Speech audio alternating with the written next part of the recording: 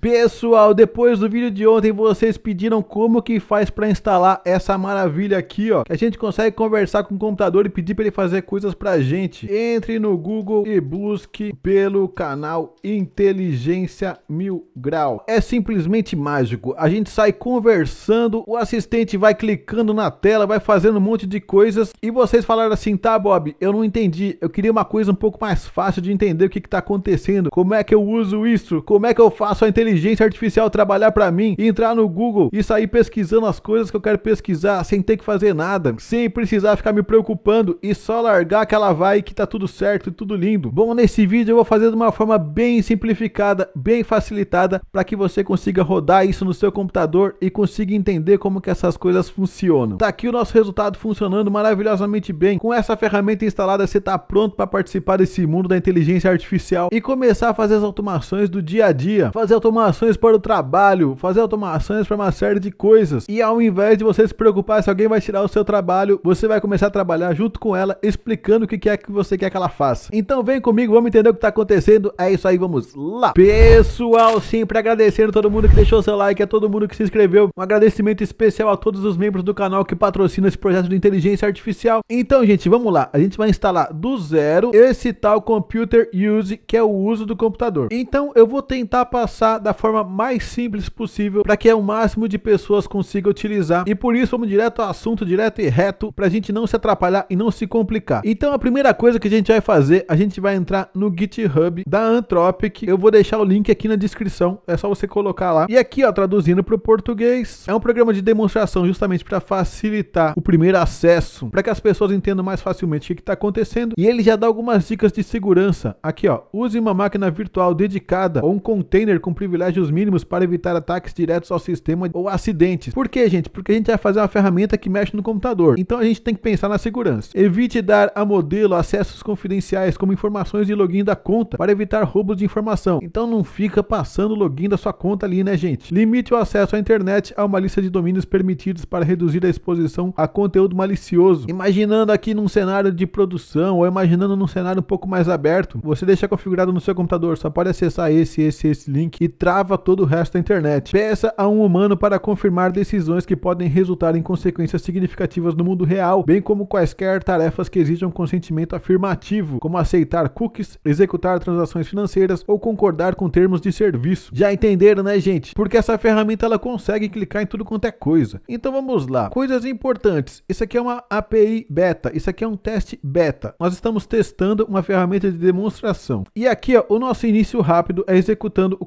container Docker. E é isso aqui mesmo que a gente vai fazer. Super simples. Tá vendo que ele tá falando que tem que ter uma API key aqui, que você pode criar sua chave aqui? Não se preocupa com isso agora. Vamos no que interessa. Eu preciso fazer esse comando aqui, ó, docker run. Para fazer esse comando aqui, eu preciso instalar o Docker. A ideia do Docker é bem simples. Sempre que você vai fazer uma instalação de algum projeto que roda direto no código, coisas que demandam uma série de configurações para funcionar, você cria um ambiente que ele deixa tudo configuradinho, tudo prontinho para você rodar, e o Docker é o cara que executa esse negócio configuradinho, prontinho para rodar. Então a Anthropic preparou um ambiente bonitão para a gente usar e para usar isso a gente roda através do Docker. Eu estou rodando aqui no Windows, então tem duas opções: AMD ou ARM ou ARM. Se você estiver usando Windows é AMD com certeza. ARM é arquitetura de microcontroladores, é um negócio que não tem nada a ver aqui. Para quem mexe com Raspberry Pi e Windows embarcado, coisa que não tem nada a ver. Vai no AMD que confia que é esse mesmo. Por outro lado, se é Mac ou se é Linux, vai na sua, vai no certo. Feito o download, você vai executar esse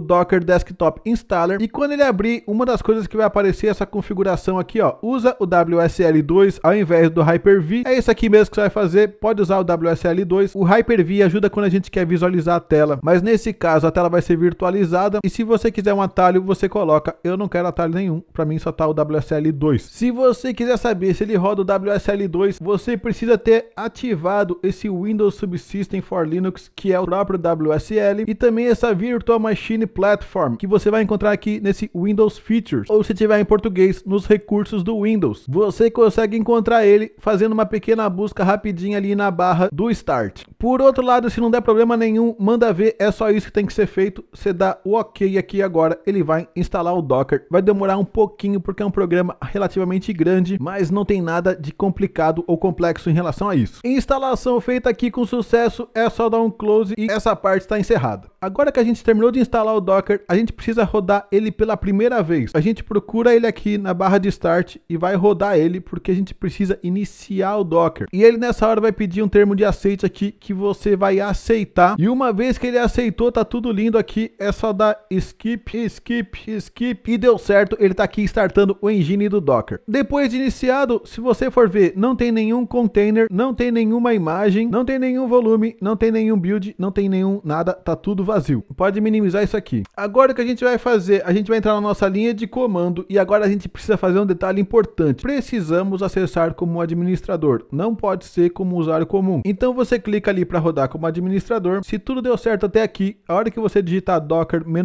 version, vai aparecer a versão do docker que está instalada. Fechou? Tamo junto aqui. Então vamos voltar agora para Anthropic aqui, ó. E aí ele vai passar dois comandos, um export anthropic key, não sei o que lá, não sei o que lá, não sei o que lá, que a gente não vai usar, eu já vou mostrar por quê. E aqui ao mesmo tempo, ó, tem um docker run, tem esse monte de informação aqui que a gente vai usar, porém no Windows se eu passar esse negócio do jeito que tá, a hora que eu colar vai aparecer tudo errado. Então eu vou colocar aqui o docker run, não preciso passar a API key. Como eu estou no Windows, eu preciso mudar esse dollar $home para porcentagem user profile, porcentagem de novo. Tem que atualizar isso, redirecionar selecionar todas as portas e por fim passar o endereço que é onde está a tal da imagem que a gente vai instalar. Vou deixar esse comando aqui na descrição também. Se tudo der certo agora é só apertar Enter aqui e ele vai carregar o nosso Docker. E aí ele começa a fazer um monte de download, download, download, download. Você só aguarda, gente, porque agora ele está começando a fazer o download tudo que tem que ser feito e ele já vai instalar e já vai rodar tudo lindão. Ele já está dando um run e logo logo já vai começar a funcionar. Depois que ele terminar todo o download, ele vai começar a mandar algumas informações aqui que ele fez download da imagem, que tá subindo com sucesso, que vai ter o Tint 2, o Mantra VNC, nananana, e finalmente ele diz, a demonstração do Computer Use está pronta e você só tem que acessar agora o localhost 8080 no seu navegador. Isso significa que colocando localhost já vai aparecer aqui bem certinho a telinha do computador ali rodando aqui ó, na workspace aqui de testes e aqui o nosso chat prontinho para receber informação. E agora vem aquela parte que eu falei, ó, entrando aqui, ó, vai aparecer o Anthropic API Key aqui que você precisa preencher. Se for o primeiro acesso que você está fazendo, não vai ter nada preenchido aqui, então você vai ter que fazer o seguinte: entra aqui agora sim no Anthropic Console. Se você não tem uma conta cadastrada ainda, faz o cadastro da tua conta. Pode fazer tudo em português, com celular do Brasil, isso já está tudo liberado e você vai dar um Get API Keys aqui. E nesse Get API Keys, você vai dar um Create Key, coloca o nome da chave, testando Cloud IMG e você pode colocar aqui no padrão e adicionar e vai dar tudo certo certo. Ele vai gerar essa chave aqui, fica tranquilo que eu vou desativar ela depois que eu terminar o vídeo, mas você fecha aqui, vai lá pro seu computador e você vai colar ela aqui. Se tudo deu certo, se tá tudo lindo, se tá tudo funcionando, agora você já pode pedir coisas pro seu computador, inclusive conversar com ele. Oi, tudo bem? Você poderia acessar o Firefox, entrar no Google e buscar o site Inteligência Mil Grau. Eu já dei uma olhada na documentação da Anthropic e eles comentam que é interessante importante você meio que explicar o passo a passo que você quer que ele faça. Mas se você quiser arriscar e fala assim, ó, busca para mim inteligência mil grau, confia que de repente ele acerta. Mas olha só, ele abriu o Firefox, já tá fazendo um monte de foto, ele bate uma foto, mexe no mouse, vai lá para a barra de busca, agora vai escrever Google e agora ele vai para outra barra de busca, vai colocar o inteligência mil grau e vai fazer a busca e fechou. Tá ali, ó, inteligência mil grau, tudo certinho. Eu simplesmente fiquei aqui assistindo e tá tudo lindo. E agora que ele terminou, ele vai perceber que ele terminou e vai dizer, ó, pronto, agora podemos ver os resultados da pesquisa por inteligência mil grau. Como você pode ver, o primeiro resultado é o canal do YouTube deles e o segundo é o site oficial. É isso aí, gente. É esse computador rodando na máquina de vocês, fazendo esses testes. Se tudo deu certo, parabéns demais para você. Se tiver algum problema, alguma coisa, deixa comentário aqui embaixo que eu posso te ajudar ou de repente o pessoal que está assistindo aqui também consegue deixar comentários ajudando e dando dicas de coisas que a gente pode fazer. Uma coisa interessante que eu comentei no outro vídeo é que ele trabalha nessas etapas. Ele bate uma foto, entende o que está acontecendo, faz uma ação. Por exemplo, ele tirou a foto aqui, ficou azul, daí depois ele mexeu no mouse, aí depois ele clicou com o botão esquerdo, e aí depois tirou uma outra foto, e aí tinha aberto já o Firefox, e aí ele moveu o mouse de novo, e por aí vai, ele vai fazendo essa sequência de etapas. Uma coisa interessante de comentar é que quando a gente olha aqui a documentação do Computer Use na versão beta, ele vai dizer exatamente isso. Quando você estiver codificando em Python, você vai mandar uma mensagem lá para o Claude para eles responderem, e você vai ter que colocar essas tools aqui, gente. E essas tools vai ter uma que é a Computer, vai ter uma outra que é a Text Editor e vai ter uma outra que é a Bash. Todas elas fazem parte desse sistema que a gente troca de mensagens. E o interessante é o seguinte, quando você usar essa ferramenta, ele vai te dar uma Stop Reason. E essa Stop Reason diz o que, que ele está fazendo. Como assim, Bob? Do que, que você está falando? Bom, eu estou carregando aqui, rodando esse código aqui no meu PC e eu passei o Computer, passei o Text Editor, passei o Bash, tudo certinho. E agora eu vou perguntar para ele assim, ó, o que tem nessa imagem? Bom, não tem imagem nenhuma, mas o que, que vai acontecer? Quando eu falar esse texto aqui, ele vai perceber, um, eu preciso fazer uma tarefa do computador, e é uma tarefa de screenshot. Quer ver, ó, vem comigo, ó, vem, só, só acompanha que vocês vão entender. Olha essa bagunça aqui que tá acontecendo. No meio dessa mensagem, ele vai dizer o seguinte, ó, deixa eu capturar uma screenshot da tela para ver o que está sendo exibido. Então é isso que acontece, ele te manda uma resposta em texto, e papo vai, papo vem, ele vai dizer aqui, ó, input, action,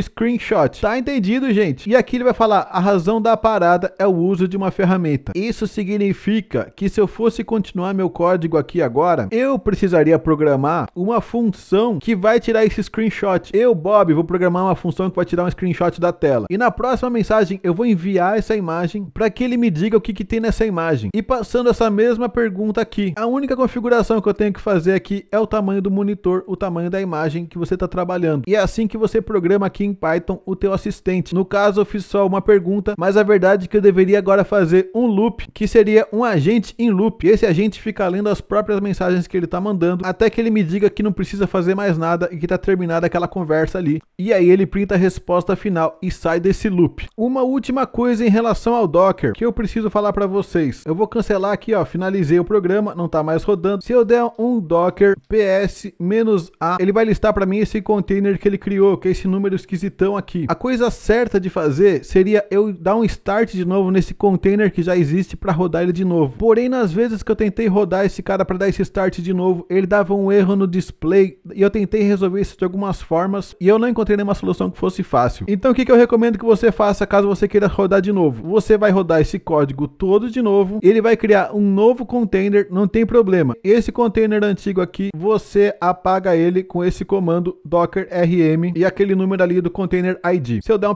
ps-a, o container sumiu. Tudo certinho, resolvido esse problema, tá tudo bem. Se você já manja bastante de Docker e quiser resolver isso de fato, fica à vontade, pode deixar inclusive no comentário alguma solução que você encontrou para isso. Uma coisa importante que para isso funcionar, você precisa colocar créditos, adicionar fundos aqui. Por exemplo, eu ainda tenho aqui 6 dólares que eu consigo usar e eu consigo brincar com isso até ele ir acabando. Você primeiro coloca crédito e depois você usa. E os preços da API são esses preços aqui, 3 dólares, 1 milhão de token na entrada, ou seja, na pergunta, e 15 dólares, 1 milhão de token na saída, que é a resposta que o chat te dá. Então, basicamente, o que você vai fazer é usar o chat e conforme você vai falando com ele, você começa a olhar nessa janelinha para ver se o dinheiro que você colocou está caindo com muita velocidade ou pouca velocidade, porque essa jogada que ele faz de ficar mandando texto, batendo foto, mandando texto, batendo foto, ela não é muito barata não. Se fosse só texto, tava tudo ok, mas esses envios de foto e essa sequência contínua deixa o custo mais ou menos alto. Vamos esperar que o Raico vai sair até o final do mês agora. Se ele sair, a gente já começa a utilizar ele para ver como é que vai funcionar. Tá entendido, gente? Eu espero que tenha dado tudo certo. Eu espero que vocês tenham entendido. Se você acompanhou o projeto do Junin, que é o assistente que eu tô montando, basicamente eu faço exatamente a mesma coisa, com a diferença que eu, ao invés de fazer chamada de função, que é o que ele tá fazendo aqui no Cloud, eu mesmo especifiquei no prompt quando ele tem que chamar uma função específica e fiz tudo manual. É isso aí. Se você quiser apoiar o canal para continuar vendo vídeos como esse, seja membro. Os membros têm acesso ao grupo do WhatsApp e vídeos antecipados. É isso aí. Deixa seu like. Valeu!